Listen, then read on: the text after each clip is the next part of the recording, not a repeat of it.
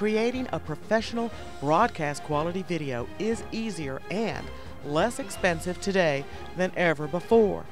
Today, for a budget in the neighborhood of $30,000, you can stock a mobile van like this one with all the equipment needed to create shows that will rival what used to cost absolutely millions of dollars to produce and took huge crews to operate.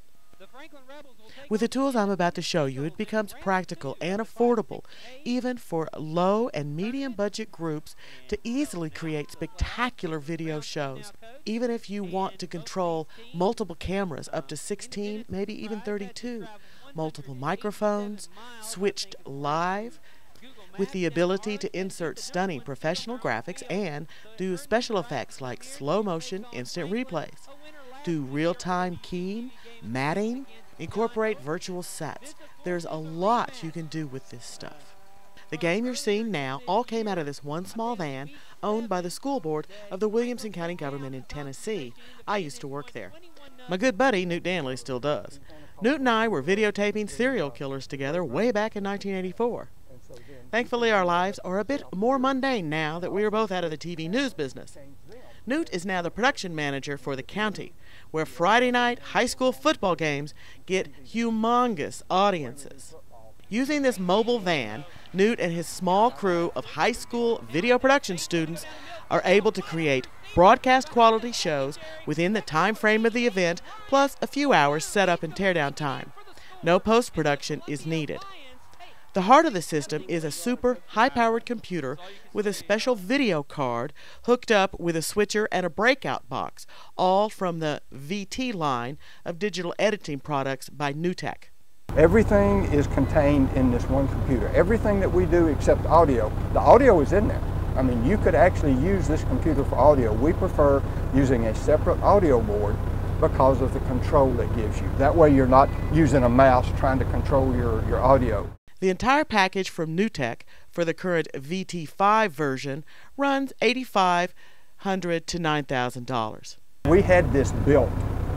You, we didn't order this computer with the VT4 in it. We ordered the VT4 hardware, software, hardware, uh, and software, the program and so on. Then we hired a firm here to build us a supercomputer. This thing, uh, the, the person that built it to told us he had never had anything this powerful in his shop. One camera is routed straight into the computer. The other cameras are routed first into these DVR machines, then into the computer.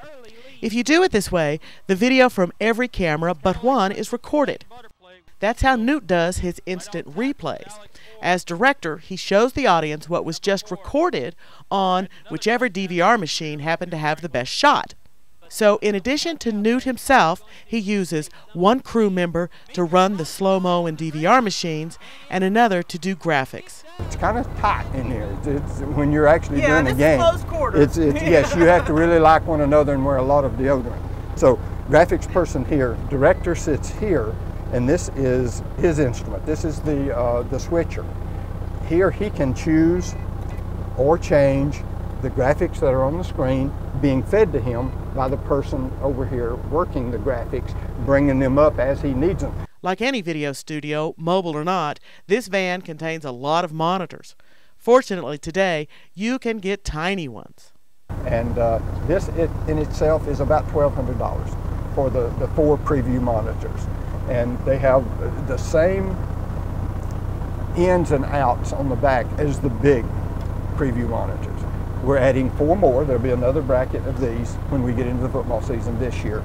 And then all of these monitors will actually be mounted instead of freestanding as they are now, which will make everything look a little better, but also be a lot safer. It'll ride a lot better in here.